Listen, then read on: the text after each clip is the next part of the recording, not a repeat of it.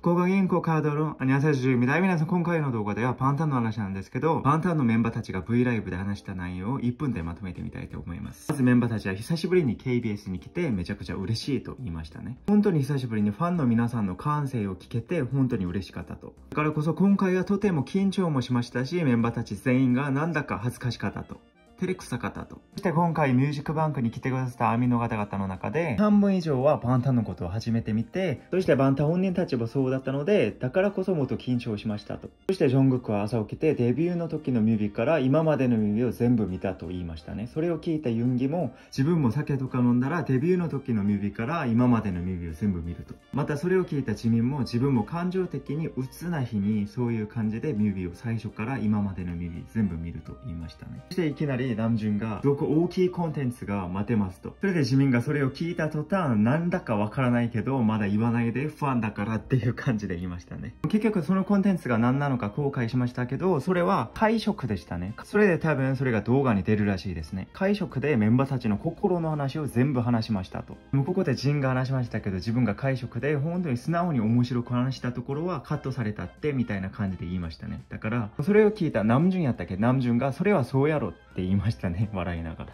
そしてまたメンバーたちは M カウントダウンと人気がのステージもめちゃくちゃ楽しみだと。そして今回の V ライブでメンバーたち同士ちょっと冗談でしたけど、なんか小さい行動でも、え、これ炎上するよ、炎上するよって感じでちょっといたずらしたんですね。やっぱりファンタンも本人たちの本当に小さい行動まですぐ記事になるから、そこに対してちょっと気をつけるところとか、スタンを感じたりするところが見えましたね。はい、皆さん、とにかく私が用意した動画はここまでです。ってことで。